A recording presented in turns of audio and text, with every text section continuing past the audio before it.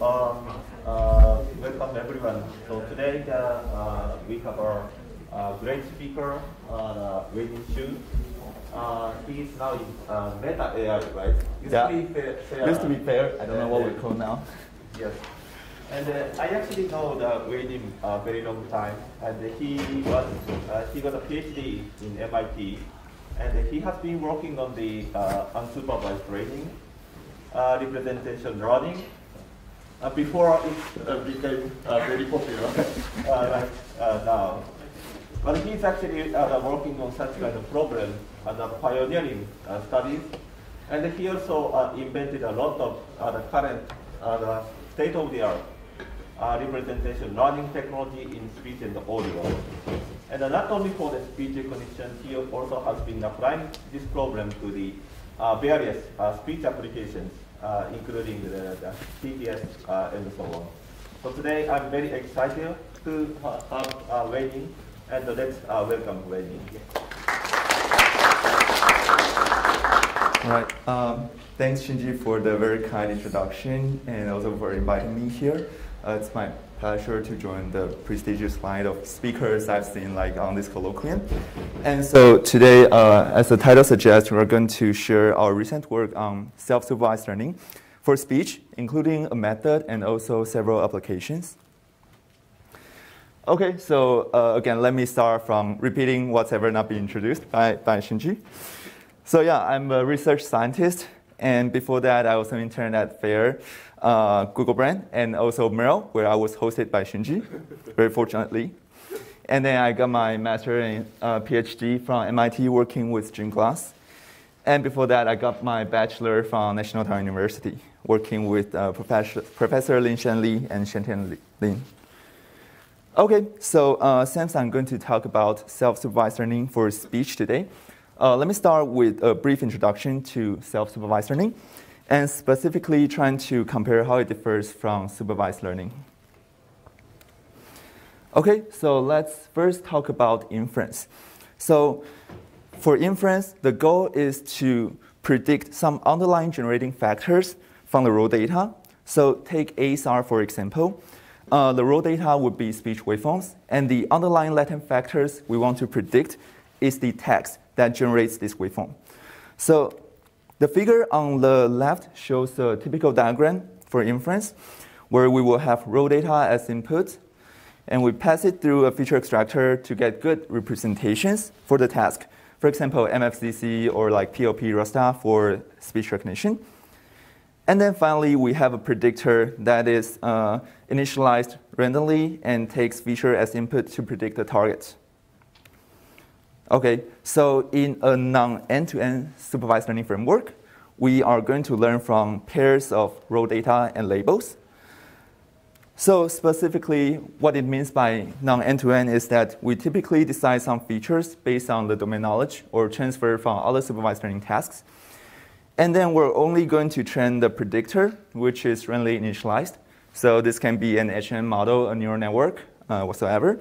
So this was a popular uh, training paradigm uh, before when the predictor was not very powerful. So we have to do feature engineering, and also when we do not have enough data for doing end-to-end training.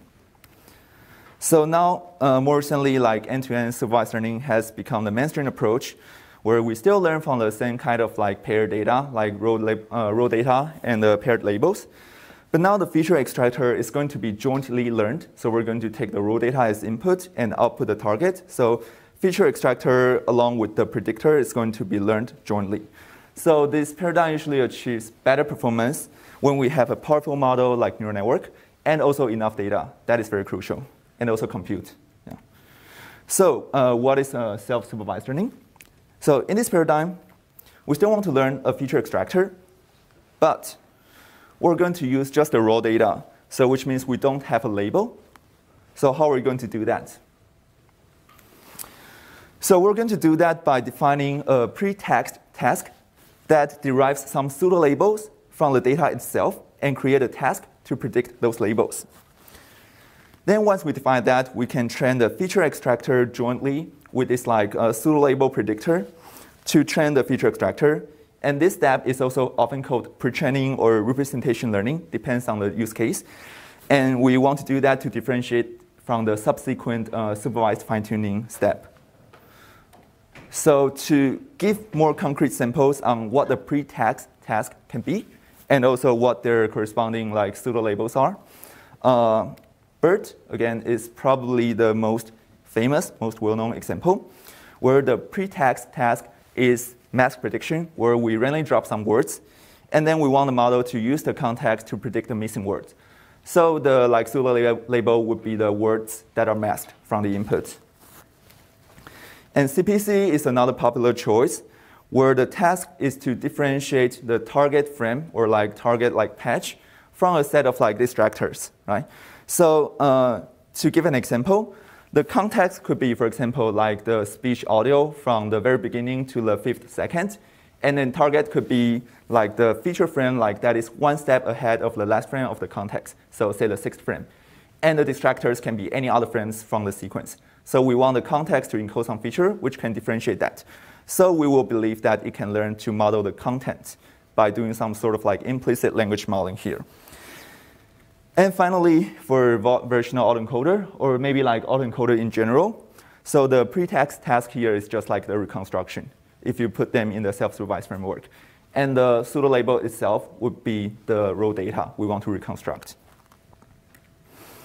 Okay, so once we finish the aforementioned pre-training step, we're going to remove the pseudo-label predictor because we are not going to use that to predict anything anymore, uh, most likely.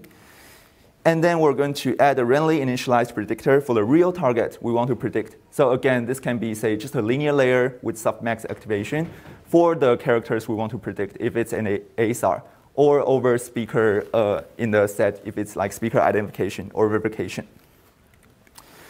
So we can roughly categorize the fine-tuning strategies into two different classes. The first one updates only the predictor in the fine-tuning stage, and the feature extractor is kept frozen. So this is very similar to the non-end-to-end supervised learning approach. So for this strategy, self-supervised learning often coincides with representation learning because we use that as is. Another more popular approach nowadays is to fine-tune the entire model, which is more expensive but can get you better performance this way.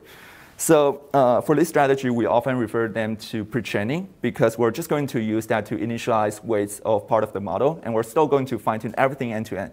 So this is closer to the like end-to-end supervised learning approach in terms of the fine-tuning. So now we have talked about how like self-supervised learning can be integrated into the inference pipeline, right, for discriminative tasks. Now let's talk about how it can also help generative modeling tasks so for non-end-to-end generation, again, we're going to predict the representation, some representation of the data, raw data from some attribute. So to give a more concrete example, let's think about text-to-speech synthesis. So the label we condition on at the bottom will be text.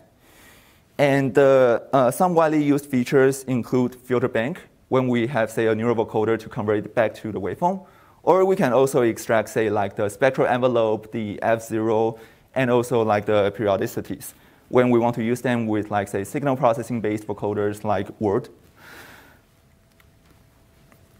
Okay, so to generate the raw data, as I mentioned, we need a vocoder that converts the prediction from the generator back to waveform so we can play it and listen to that.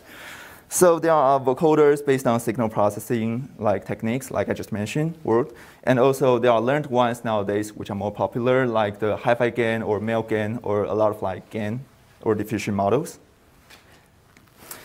Okay, so in the supervised learning paradigm, we again use handcrafted features like the ones I mentioned. And we're going to train the generator on paired data to predict representation given labels, so filter bank given text. And in the self-supervised learning framework, what we can do instead is to replace these handcrafted features with the learned features from self-supervised learning paradigm. So to summarize like this introduction part, so we're going to compare these two paradigms. We see both of them can actually be used for pre-training. And we can also use that for feature learning, just extract the representation from layers, regardless of self-supervised learning or supervised one. But the main difference is that self-supervised learning uh, can use like raw data, it does not require label. We define the label ourselves. Well, like supervised learning would need some label data for it to predict the target. So as a result, like depending on the pretext task, uh, self-supervised learning may learn more general features, as shown in like some papers that can be used for not only ASR but also identification, speaker identification, emotion recognition, language identification, etc. And on the other hand, supervised learning tends to learn more task-specific feature, where like uh, which is correlated with the label it wants to predict. Okay, so here is the outline of the rest of the talk today. So in which we are going to cover all four components basically. So first, I'm going to introduce a self-supervised learning framework called HuBERT, and then apply that for inference task, which is ASR that we're going to cover today. And then we'll show uh, it can also be used for reconstructing the waveform, serving as a vocoder, taking the representation as the input. And finally, some generative tasks, which take like input or no input at all to predict these representations, and then we can synthesize speech out of that. Okay, so now the first part, which is uh, the self-supervised framework. So this framework uh, actually work for both unimodal speech, like the speech audio, and also multimodal speech, like audio-visual speech, where you have videos of the lip crop and also like the audio. But today, uh, given the limited amount of time, I'm going to just talk about the unimodal case. But the multimodal case extension is very straightforward. Okay, so when we want to build a supervised, self-supervised framework, one of the most crucial questions we want to ask is what a proper task is that we can learn useful features from the data and which task we might want these features to benefit. So our answer to designing self-supervised learning framework for speech is that we want to create a task that requires understanding the, of the structure of speech. So to achieve that, we want the model to be able to do two things. So first, we argue that speech can like high-levelly be represented as like a sequence of events. So an event can be, for example, a period of silence, which should be inserted at the proper place, a realization of some phoneme, depending on the like the previous content, right? And also maybe some nonverbal cues if we are modeling, say, like conversational speech, where I will laugh, laugh at the proper place to be polite, and also maybe like do some back channeling to present that like I'm still listening to you, for example. Yeah. So uh, this is like something we want the model to do. So we want the model to be able to discover such events and also predict like these events exist when you see the audio signal. And the second part is regarding the structure specifically. So just like text sequences, we know like speech events are also highly correlated within a sequence. So you know what events should follow by what events. And if you see something is missing, then you can infer from the context. So being able to predict an event without seeing it based on the context uh, shows the such understanding of the speech or the language structure. So we're going to do it just like BERT, which is mass prediction, but with some tweaks to that. Okay, so now let's get into the details of the model. Okay, so to discover a set of speech events, we can use any like acoustic unit discovery algorithms. And here we just like choose the simplest one, which is running k-means clustering on very simple MFCC features. So once we have a k-means model, then we can annotate each speech frame with its cluster assignment. So for example, here we annotate the sequence with 2020, 17, 17, 17, blah, blah, blah. So this will create like frame level pseudo labels, which we can use. So the purpose of this step is to discover units that may be of low quality, but it has like non-trivial correlations with the underlying events we care about. So to quantify if this is really the case, we compute the mutual information of like such uh, discovered discrete units uh, with the force aligned phone annotations because phone events is something which have like we have a lot of annotations on and we can derive also frame level uh, annotations. So we compute the uh, mutual information and found they indeed capture non-trivial mutual information, which is a good point to start. Okay, so next, once we have like the frame level pseudo labels, we're going to build a model that takes raw waveform as the input because we're dealing with speech. And uh, we are going to use some local modules like convolutional uh, layers to extract frame level features. So the frame, frame rate between the input sequence and the frame rate between the like the label sequence are matched now. And in our pre pre uh, preliminary experience, we found that we can also replace these like uh, CN modules with filter bank. So they would also work just as fine, but with maybe slightly worse performance because now you don't get to learn the feature extractor front end. Okay, so then here comes to a part where like everyone is fairly familiar with. So what we do is to do random masking by replacing the mask frames with a learnable embedding. So here you can see at the bottom, we mask the second, third, fourth, seventh, and ninth frames there. We replace that with a mask embedding. And note that here what we do for speech is we do span level masking. So if we want to relate that to text, it's like if we have character input, we want to mask multiple consecutive characters instead of like just one random characters. Because if we just mask one characters, then the task would be too easy. And similar thing applies to speech. If we mask just one frame, then you can most likely infer what the cluster ID is from the neighboring frame, which is too easy.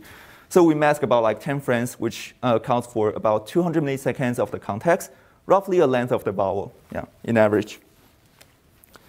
So we then pass the corrupted uh, feature sequence into a transformer model, so the transformer model has this self-attention, so uh, we learn contextualized representations from it. And then uh, once we get the output from the transformer model, we then predict the labels of the mask frames. So in this case, it will be like 20, 17, 17, and 3, 3 for the 2, 3, 4, 7, 8 frame. Okay, so for those who are familiar with automatic speech recognition, this task is also very similar to like what we do for joint acoustic modeling and language modeling. So I actually mentioned that like before this slide, because the model actually first to understand the content in the unmasked region. So which is what I say as like recognizing these acoustic events, which are labeled like unsupervisedly. And then given the scene content, given like it understands what's happening in the scene part, it has to infer what's missing. So this is like a language modeling, but in a masked version instead of the like forward causal language modeling. So we're going to show an ablation study later that uh, what we predict really matters. Uh, so here we predict only the mask frames. So we're going to show if we predict unmasked ones, then it's going to be terrible, especially when we use pseudo labels that are of very low quality, like k-means on MFCC. Yeah. Okay, so as I mentioned earlier, the quality of the pseudo labels we got from clustering MFCC is not good. So how can we improve that? So one thing we can do here is to use some feature for clustering. We use the same clustering algorithm, but use better features. So uh, one thing we can do is to take the contextualized features learned from HuBERT, from the first iteration HuBERT, which is trained on MFCC target, use that features and run clustering again, then this would lead to significant improvement, both in terms of the cluster quality, when we have, say, the same number of clusters, like 100, and also leads to better downstream performance when we fine-tune a model trained on higher quality um, self-supervised units. Okay, so this is the setup uh, we use for pre-training HuBERT. So we pre-train on either 960 hour or 60,000 hours of LibriSpeech. So for iterating the experience, we use mostly like 960 hour. We just scale that up in the end once we stabilize the recipe. And we consider uh, models of three different sizes. So first, again, we iterate our experience on the base model uh, for the interest of compute. So we train this model for two iterations, first on MFCC clusters, then on the first iteration HuBERT feature clusters. So um, this model is trained on 960-hour sets. So once we have a good base model, we can just use that to extract the features for the bigger set, which is a 60K hour, and then to run clustering, and then to get the labels. So we don't redo the process for large and extra large model because it will take too much time. So we just like take the label from the second iteration HuBERT base, and then train the large model and the extra large model with the same label for just one more iteration just again to save compute, and they perform fairly well too. Okay, so let's now, as promised, look at the cluster quality when using different features and also when using different amount of data for running this k-means part. So first we compare uh, two features. So the first, sorry, the font might be a bit small, so I'll read out the number here. So the first set of the rows are MFCC features, and the second set of rows are HuBERT features. And so the first row are using 100 clusters, and the third row again is using 100 clusters. So we should compare those two. So with 100 clusters, the PNMI for normalized mutual information, which is upper bounded by 1 and lower bounded by 0, uh, is 0.25 for MFCC and 0.56 for HuBERT. So the higher the better, which means like it correlates more with the like underlying phone uh, vocabulary. So we see it's a huge difference, like point, about 0.3 uh, mutual information, normalized mutual information differs. So the quality improves significantly when using better features, as shown here. So next, we want to show how much data is needed for training this like k-means model, like basically the clustering part. Uh, so we train on like one hour or 10 hour or 100 hour, and for each setup, we train for like 10 times to get the mean and the standard deviation. So the result here shows that uh, they're pretty much the same, which suggests that uh, the amount of data we use for running k-means is not that crucial. They will produce like quality of similar units because it's a fairly simple clustering algorithm. Okay, so in the next part, I'm going to demonstrate like how useful HuBERT is for inference tasks and specifically automatic speech recognition. So uh, let's go through the protocol here. So to fine-tune the model for speech recognition, we first remove the cluster prediction head, which is just a linear layer, and replace that with the randomly initialized linear layer with a 26 plus 1 output, which captures the English characters plus a blank symbol because uh, we use CTC as an objective for fine-tuning. So that's what we do, which is like fine-tune the entire model along with the new soft head, softmax head. So the uh, entire model uh, is fine-tuned with the CTC loss. So we consider a uh, different amount of data to simulate like different resource setup. So we go from the extremely low resource setup with just like 10 minutes of the label data all the way up to the high resource setup with like nice 60 hours of label speech. So now let's check the ASR results on the standard high resource setup, like nice 60 hour. So we consider conformer as a baseline, very strong baseline, which is the state-of-the-art supervised model uh, with about 1 billion parameters. So the word error rate is 3.9 here. And next, we have noisy students. It's basically the same conformer model, but it does like the self-training, which is like you train a supervised model, you use that to like label all these 60,000 hours of the data, you merge them back in, and you just train for another iteration, and that's it. So it also uses the same amount of like unlabeled data as what we use, like we will show later. So it improves by about like 0.5% uh, absolute word error rate here. So it's effective uh, for using the unlabeled data.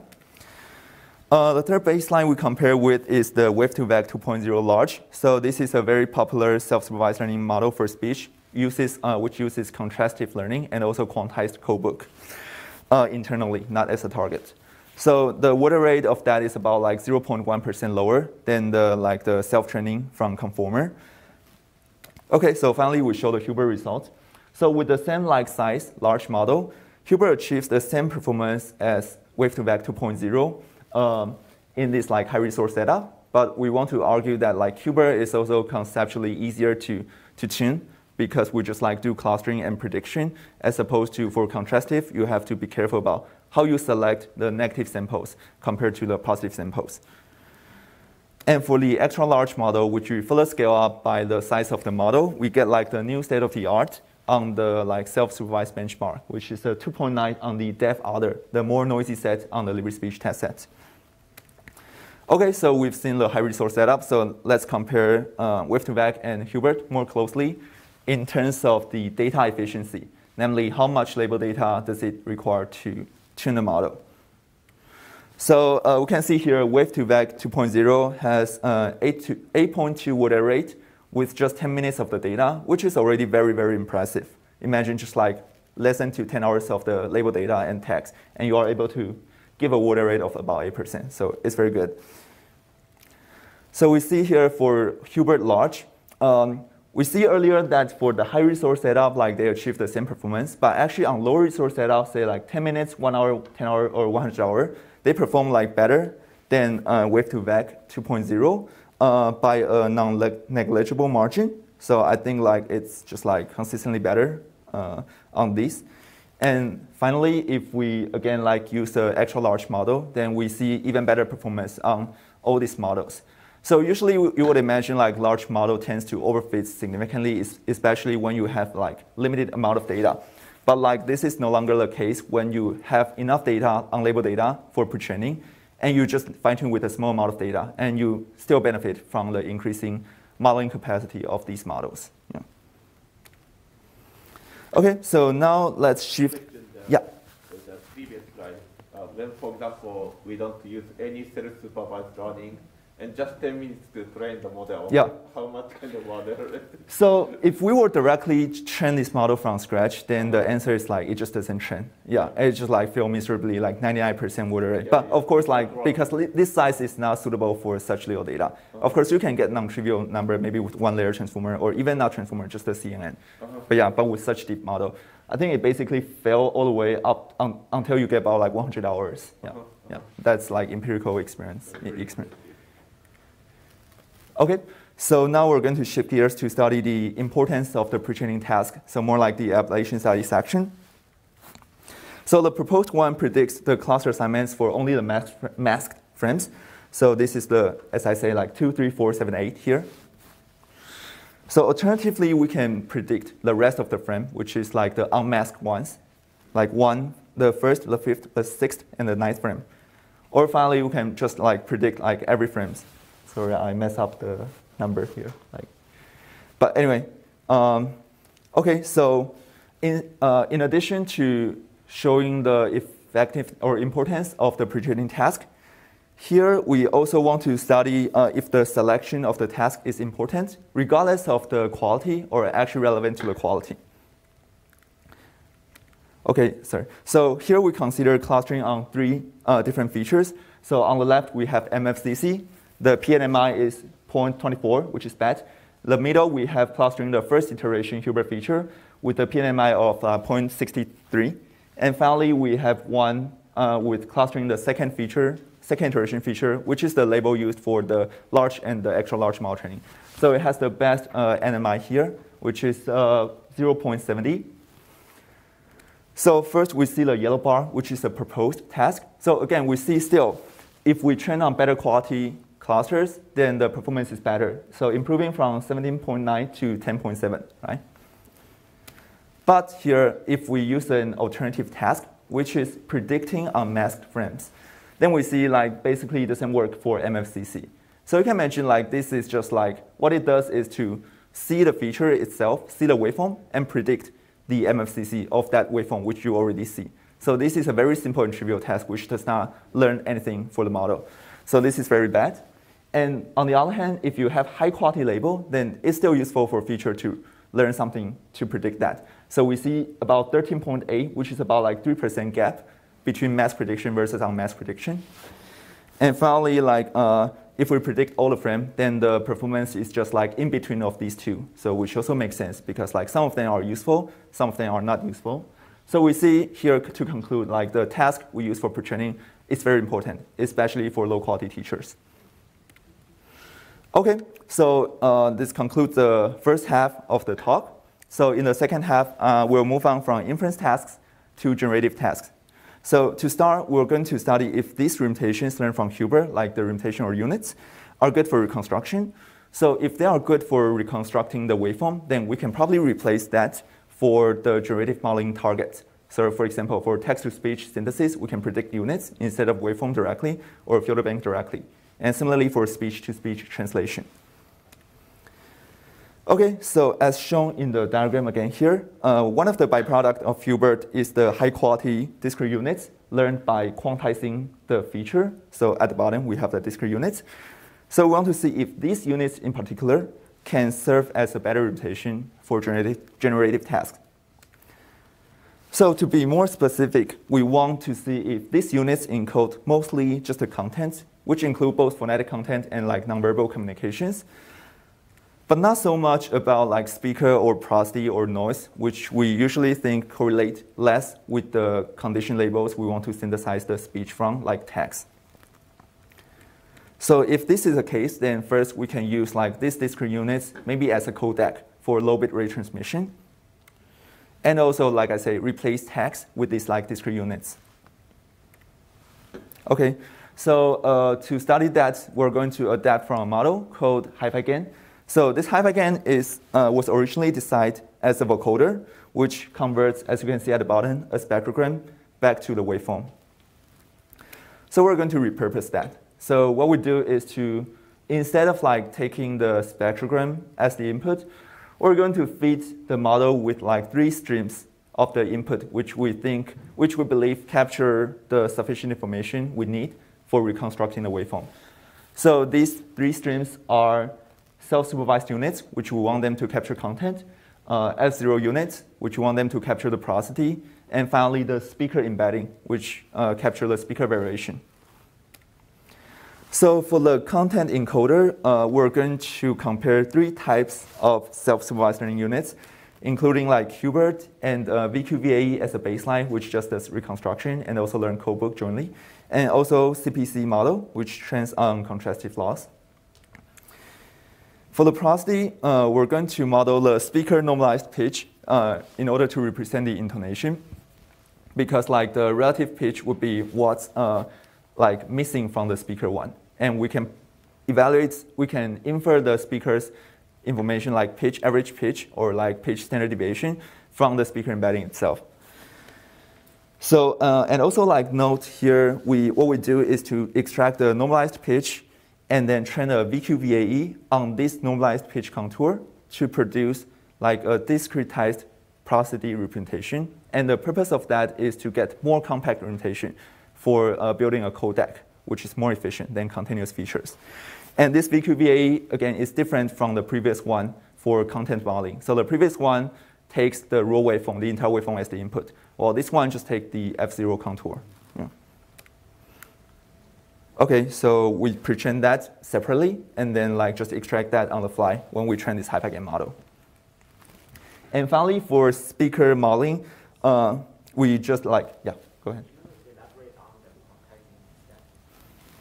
the pitch quantizing? Yeah, yeah. yeah, so it's just like a VQVAE model. So for a VQVAE model, you have a, you take the F0 contour as the input, you encode that, and it also quantizes the codebook with like some Gumbel softmax tricks or with a straight-through estimator. So you can infer them to the code. Uh, you can, and then you, it has a decoder to reconstruct them. So once you train the model, you just take the encoder and then take the pitch. So you can convert the pitch contour into a sequence of units Yeah, at the fixed frame rate. That's what you pair with the self-supervised units and to feed them along uh, into the final uh, HiFiGaN model. Okay, so finally for the speaker encoder, we just again like take a off-the-shelf speaker verification model, uh, D-vector specifically, which is trained on uh, VoxCeleb 2. So this is an global embedding, which means that we only need one such vector for each alter for one utterance. We do not need to extract one speaker embedding per segment. So what we do is to extract that and then concatenate, repeat, repeat that with every frame for concatenation and feed into the uh, HiFiGaN model. Yeah. Okay, so for the experiments, we train these models uh, on LJ speech and VCTK, which is which are pretty standard like data sets for text-to-speech synthesis. So we include two types of evaluation here. The first one is on reconstruction, which means we encode an utterance to get the three strings of the input and decode that as is without manipulating the internal representation. So we measure how well uh, it captures the content with word rate, how well it, how well it captures the prosody with the uh, frame F, uh, F0 frame error or frame F0 error, which measure how much it deviates from the uh, expected like F0, or when you have a voice event, does it really produce an voice event, something like that. And finally, we measure the overall quality with mean opinion score, which is a subjective evaluation metric. And next type, the second type of evaluation we do here is disentanglement, where we want to see if like the information are really being encoded in the corresponding like stream. So basically, we want to see speaker is only encoded by the speaker embedding, but not by the content embedding, and vice versa. Like, and also prosody is only encoded in the prosody code, not the content code. So today I'll just present the result on speaker, although we do have the F0 manipulation in the paper. Uh, but again, like to save some time, I'll just present this. Okay, so let's first look at the reconstruction results on LJ speech. So uh, first, uh, this is the prosody preservation. So we see VQVAE has the lowest error, so it performs the best on reconstructing the original pitch contour. And for word error rate, uh, the leftmost one is the word error rate on the ground truth, which is uh, 5.6. This is a baseline. And then uh, for CPC, it performs uh, second best. And for VQVAE, performs the worst, which is 8.85 on the right. And HuBERT, on the other hand, uh, preserves the content the best. So when you decode that, it only has like about 1.3 extra word error rate compared to the baseline here. And finally, for mean opinion score, we see that uh, CPC is the worst, and VQVA and Hubert are roughly the same, like 3.66 here. So we see like VQVAE and HuBERT are good on different categories. And next, we want to study what about disentanglement for these three different codecs. Yeah? Uh, which ASR model was used for this? Was it the what model? Which model used to complete this code? Uh, yeah, I think we just uh, take the wave to wav2vec model, wav2vec plus self-training model without uh, language model decoding. So just use that as is. Yeah. Okay. So next, move on to the speaker disentanglement, where we're going to do speaker conversion. So for that, what we do is to infer again like the three streams. So we have speaker embedding, content embedding, and prosody embedding. Then we're going to swap the speaker embedding with uh, another speaker embedding inferred from an utterance of a different speaker. So we can see if the only the speaker content, if only the speaker change, but other factors does not change.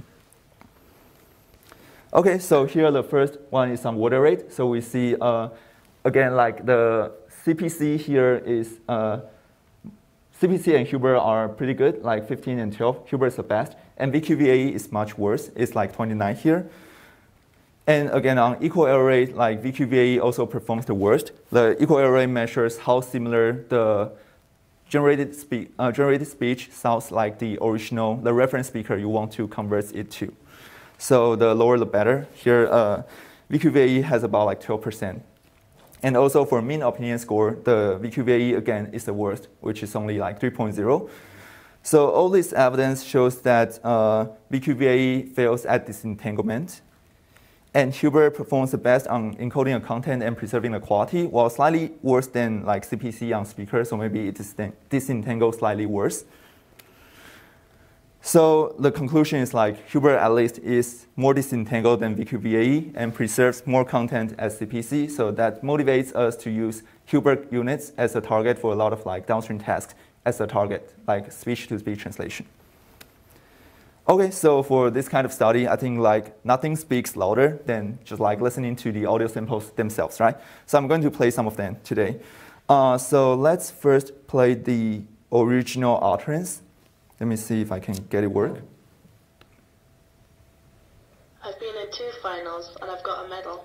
Okay, can you hear that okay?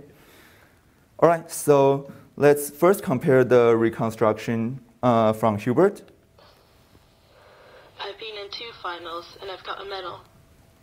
Okay, and then VQVAE?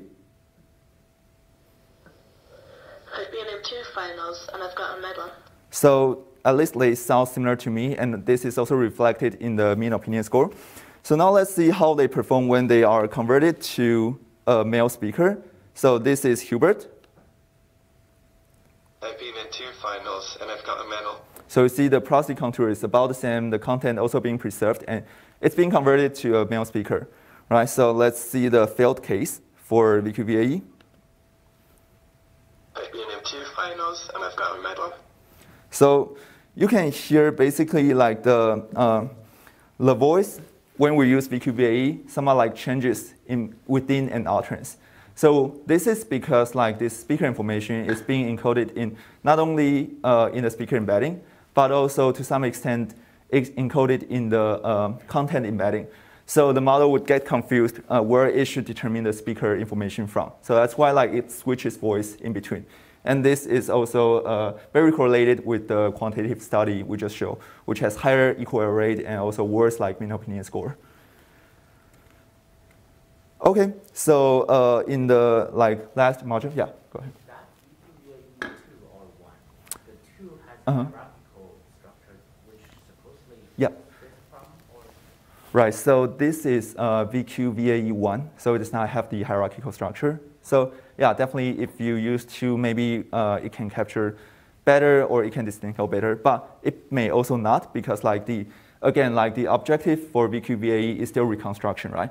So what it does is still try to preserve whatever information useful for reconstructing the waveform. So if you do not supplement that with additional speaker embedding, then the speaker information has to be encoded somewhere in the codebook for better reconstruction, right? So that's like I would still believe like the speaker would rather be entangled in the codec. Yeah. Okay. So uh, the next part I'm going to show uh, how we can use that for generative modeling. And so before doing that, let's just like do a quick review on what we have built so far. So first, we have a supervised, self-supervised unit extractor that can encode mostly the content and does not require any supervision. And also, we have built a vocoder with this entangled control where content can be controlled through these self-supervised units and process speaker through all the streams. So our next goal is to replace the handcraft features, such as filter bank, with uh, these units as a target. So uh, you might want to ask, like, why do we want to do that? So there are like two reasons, main reasons, like if I were to defend.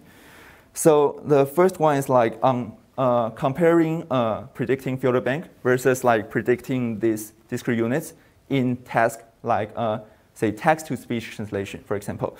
Then like you will see filter bank uh, contains not only the content information, which is correlates with the input of the model, like source language text, but also all the information that's uncorrelated and it has to model the vari- uh, variation of, like the acoustic environments, the speaker variation, and also all the factors there, right?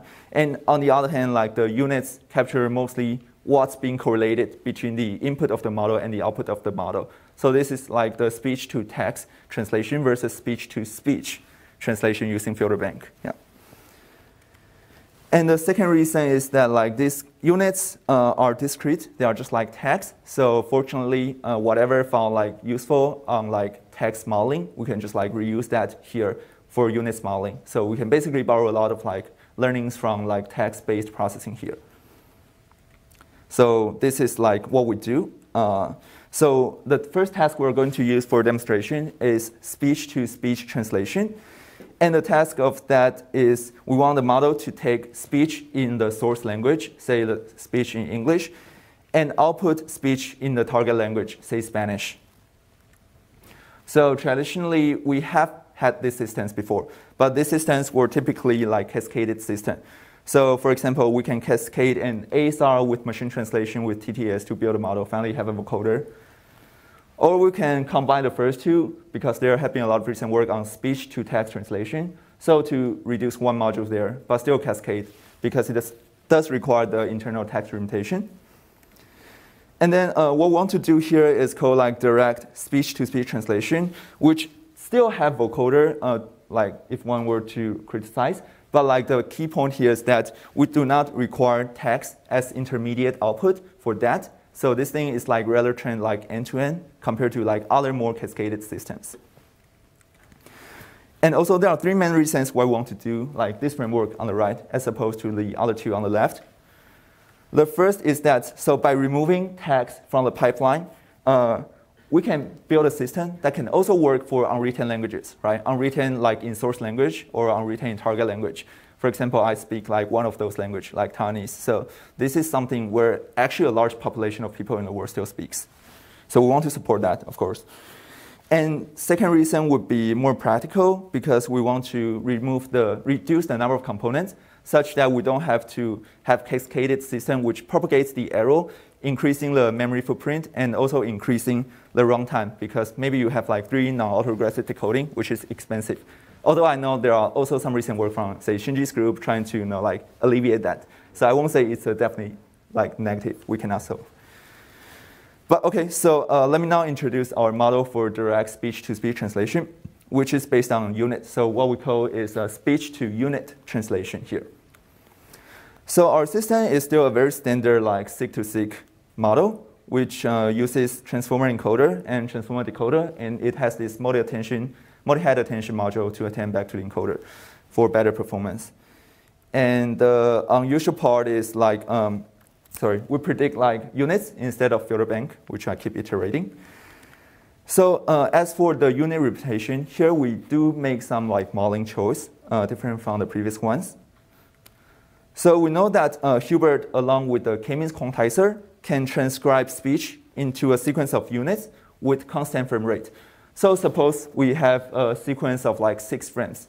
Then what it is going to do is to transcribe into one unit per frame. So here we see like 8 repeated by 3 times, 13, and 1 repeated by 2 times, right? So this kind of like number of repetition here uh, roughly refers to like the duration of the event, right? So you can think of like 8 as some phonetic content, which has duration of 3, right? So uh, what we want to do here is first we want to reduce the burden of this model because having to learn translation is already like a lot of work. So we want to make its life easier. So we wanted to not model the duration, by uh, predicting the deduplicated version. So basically means we do not predict the duration. So the way we do that is by doing loose, uh, lossy run length encoding, just like collapse consecutive frames into one single se segment. So this is more like segment level representations we are predicting. And if you think about like speech to text, it's also the same, right? Because we don't repeat the character a number of times of its duration. So this is what we do here. And then for the vocoder, we're just going to use the uh, HiFiGaN I just, uh, we just introduced. And because like in this attempt, we only care about the content. That is what we measure. And because we also use synthetic speech as target. So speaker and the prosody is not re related to the source speech. So we don't want to model that. We don't need.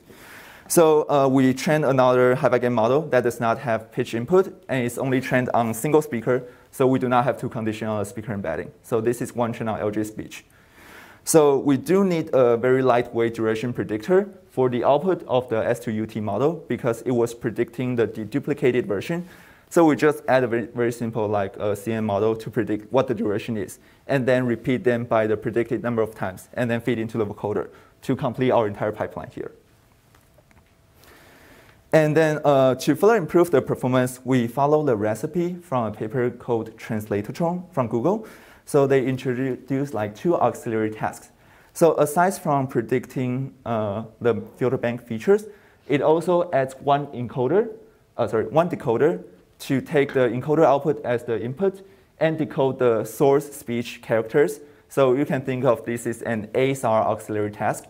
And similarly, if you have the text for the target speech, you can also do a speech-to-text uh, translation as an additional auxiliary task so predicts like target characters. Okay, so uh, in addition to these two tasks uh, we, uh, we borrow from Translatotron, we also propose another auxiliary task for the unit decoder.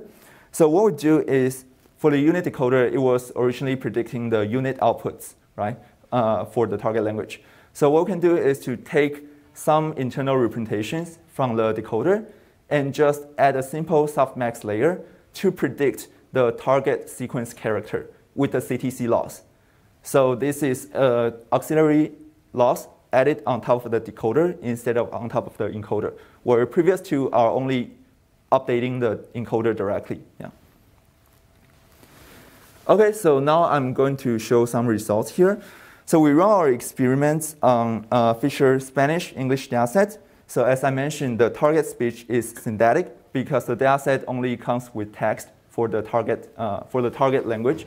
So we just use a TTS model to synthesize the speech into speech, and then to simulate like different scenarios where the source is written or not, and whether the target is written or not. Okay, so we compare our proposed method with, again, Translatotron, which is a state-of-the-art uh, end-to-end methods for speech-to-speech translation. And we also compare with like uh, two cascaded model uh, which, as I showed earlier, cascade either three modules or two modules. So as I show on the table on the right, so this compares like our model versus Translatotron. So you can see like they are fairly similar instead of like two places. One is we predict self-supervised units, and the other is we have an additional auxiliary loss for the decoder. Okay. So we see like the BLEU score for translator Okay, so BLEU score is the one that used commonly for translation. So what we do is actually take the speech output, run it through ASR model to get the text, and then do like BLEU score evaluation. So this way we can have more quantitative evaluation, as opposed to asking human to listen to that to transcribe and compute, which is expensive. So anyway, yeah, for translator we have about like 25.6 BLEU score, which is okayish.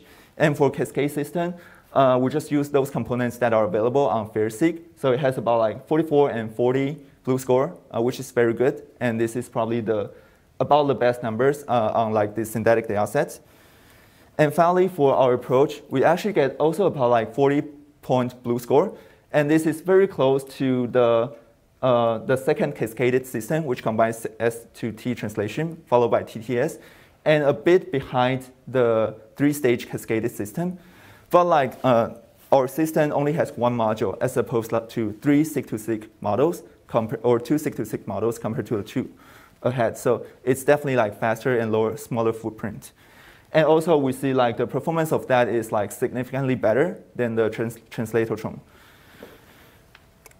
Okay, so in the next part, we're going to simulate other setup. So previously, we showed that we can use like this auxiliary task because we assume like the source and the target languages are written. So, and we also have text transcripts of them.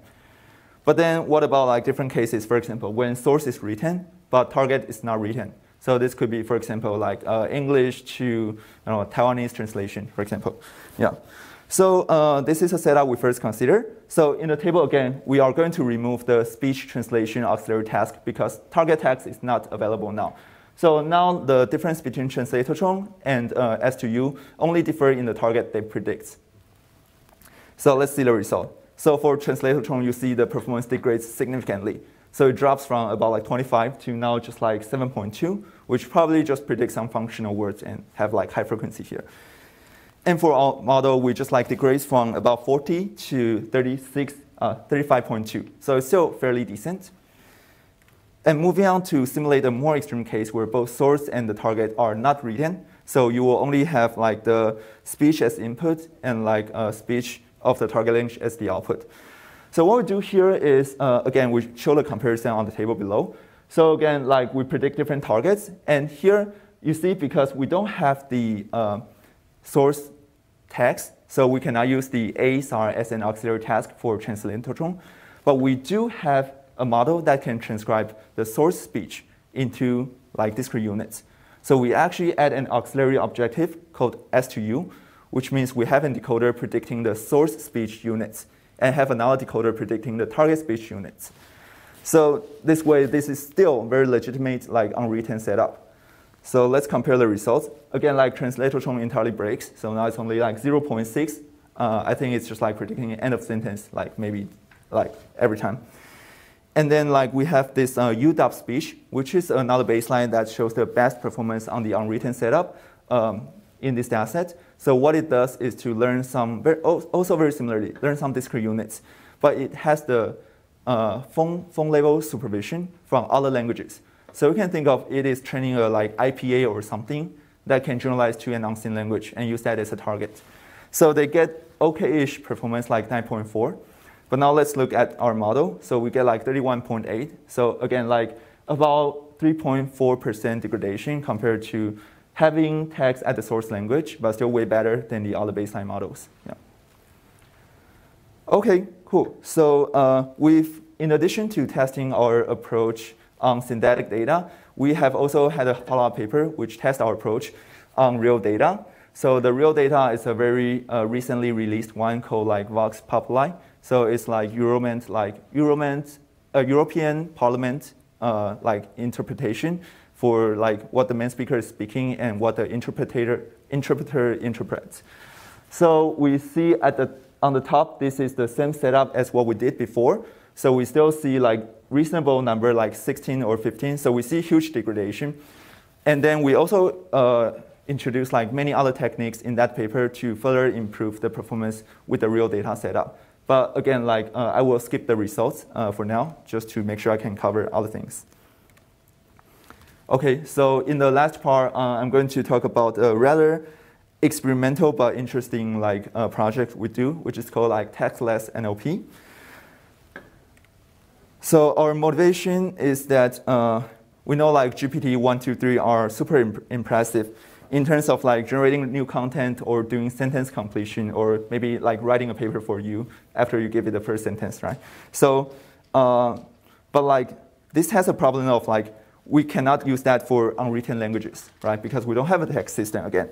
And this has a lot of like language like Swiss German, Arabic dialects, Chinese dialects.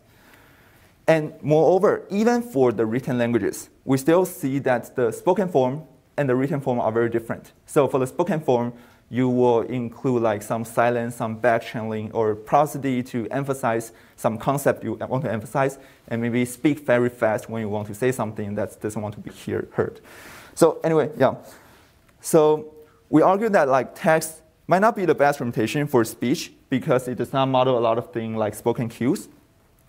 So our goal here is to again leverage the discrete units we discover to build a language model on these discrete units and see if they can better model the speech in terms of like say doing unconditional speech generation or prompted generation just for fun. Yeah. So okay, so we introduced like two models uh, in this series of work. The first is like the generative spoken language model, which is a very basic one that just like replace the whatever characters or word piece with these like discrete units, and we train a causal language model on it. So once we train that, we can give it a prompt for like say two seconds or three seconds and do sampling after that, and then synthesize the generated like the sampled sequence back into waveform to listen to like what it says, right? Does it make sense or is it like grammatically correct? And we also have another model that is more tailor-made for speech, where we argue that we show earlier unit captures this like content, but not so much about like prosody.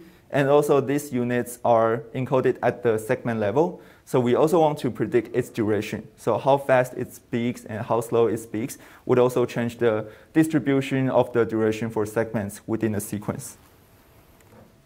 Okay, so uh, here I'm going. We have a lot of quantitative results in the paper, but like here I'm just going to play some samples, which is way more interesting than reading through those numbers. Okay, so the I'm going to first show the first model.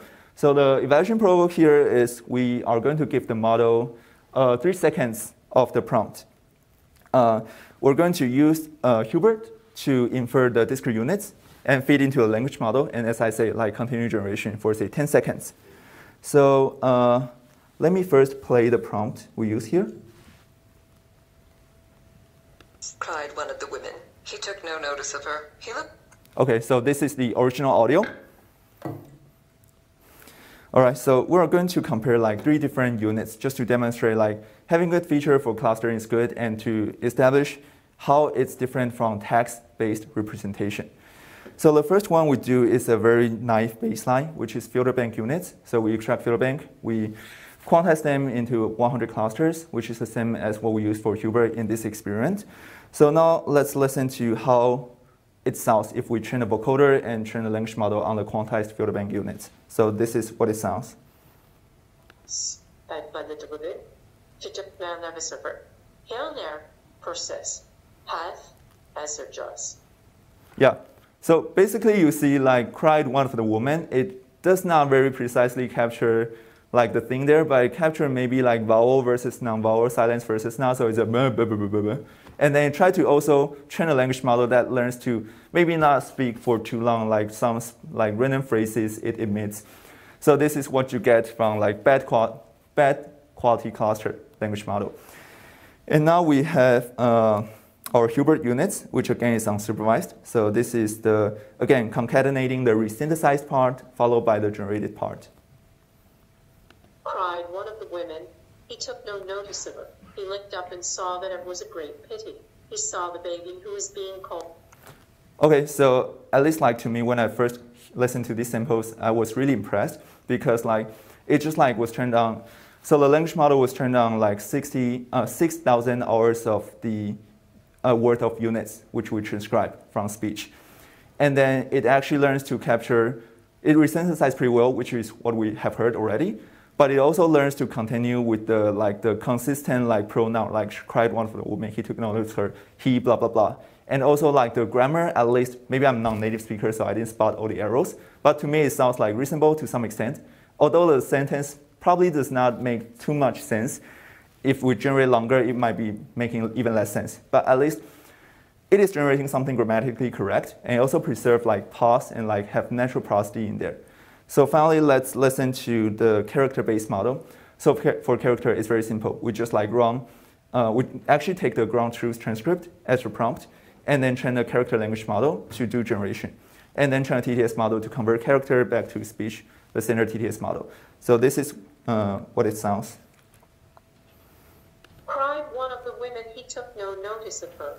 He said the other had heard her say that she was a traitor and that he was a coward. Okay, so you also hear like it's producing something maybe grammatically reasonable, but again, like what I want to point out is like first it misses the pause of cried one of the women because like in a text transcription you don't preserve that information. Right? When you see that in, of course you can annotate that, but most of the time it's not really annotate that. So this is something like missing from text. Yeah.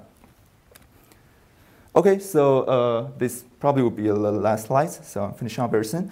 So the next one is the prosody-aware generative language model, where we have a multi-stream transformer basically. So at each step, it takes the duration of the segment, the average prosody, um, speaker normalized prosody of the segment, and also what the self-supervised unit is for that segment, and model everything like autoregressively. So uh, several questions we want to answer in this work is, uh, first, we want to ask if prosody is important at the input. So if we have prosody information, basically, does it improve content modeling? We can measure that by negative log likelihood of the content part, right? So I'm not going to show a number here, but the answer is, uh, is yes. And we're also going to see, uh, does it still work if we don't give prosody at the input, but predicting a prosody? So this would be assuming that condition on the content, prosody are conditionally independent like given basically given the content, which we know for sure if in more expressive speech, it's not going to be the case because the speak, the speed you speak sentences are going to be somewhat like correlated. If you start slower, you probably would also continue that slower. And if I'm speaking very fast, I'm going to very, probably continue very fast. So this is also something we observe. Okay, and the second thing we want to compare is whether we want to use like quantized prosody versus a continuous prosody. So like duration or pitch are naturally like continuous value. But we want to see whether it's better to be modeled as continuous value using like L1 or L2 loss versus if we want to learn to quantize them such that we predict a categorical distribution at each step. So it has the potential of being modeled as like not a, just a unimodal distribution here and how it will impact the generation performance. So again, like uh, here, I'm going to condition the model on a more expressive prompt. So this is a prompt. Love is a babe. Then so so you hear it's uh, speaking in the like a slower fashion and like more like emotional fashion, like lazy, like love is a babe. Okay, so first we're going to see how a model would perform if we do not have prosody at the input and we predict prosody as continuous values. So this is a sample. Love is a babe. Then me shall possibly be put to death, because it is Abram's place, which possibly would not permit ways to come to and bring people to the Lord.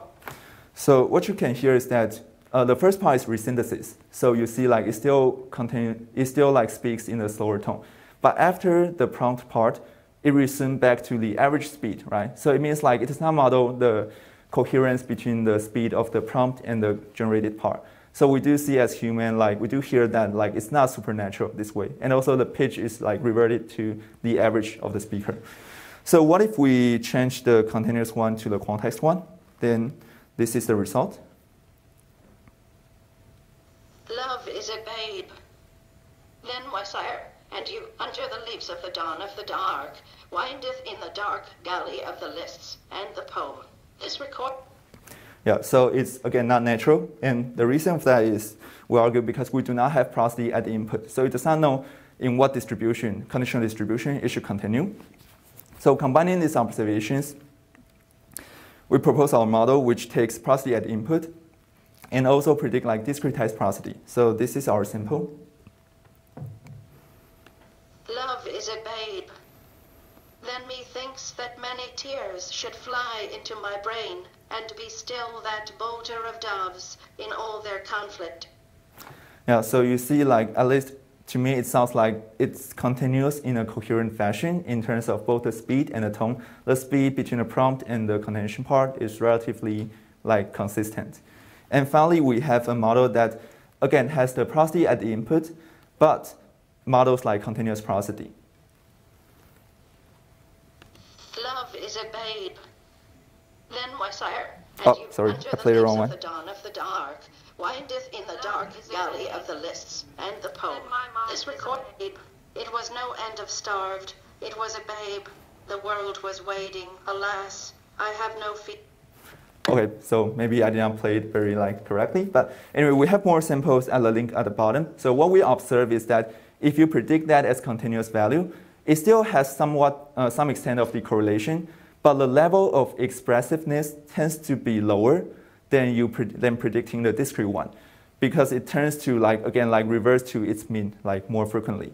So we see say if the average speed is like this, like off off the average, then like uh, the generated one would be sli- slightly lower, but then still on the right side of like whether it's slower or it's faster. Yeah. Okay, so finally to conclude this talk, so we present like just a simple and effective self-supervised learning framework and show that it's effective for a number of tasks. And we also showed that uh, this can be used as a speech codec uh, from the HiFiGAN exploration, and also uh, serves as the target for generative modeling. And we can also build some like GPT-like model uh, that can generate speech, continuous speech in a coherent and in a reasonable way. And of course, like it's not nowhere as good as GPT in terms of like coherency, in terms of the content. But again, we want to argue it's only like 6,000 hours of the data compared to how much text GPT uses. It's just a fraction of that, right?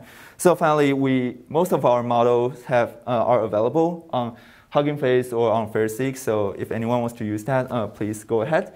Uh, so yeah, uh, I'm also looking for like fall and summer like intern. So just want to do some advertisement here.